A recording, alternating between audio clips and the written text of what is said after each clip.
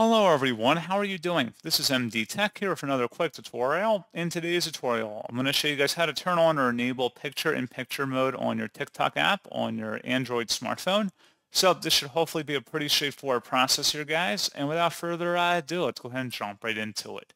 So all you have to do is swipe up on your home screen, and you want to select the settings gear button, and then select the apps tile, and then select where it says see all apps, and then scroll down and locate the TikTok app on this list.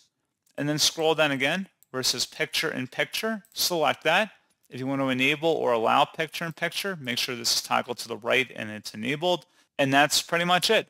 So as always, thank you guys for watching this brief tutorial. I do hope that I was able to help you out and I do look forward to catching you all in the next tutorial. Goodbye.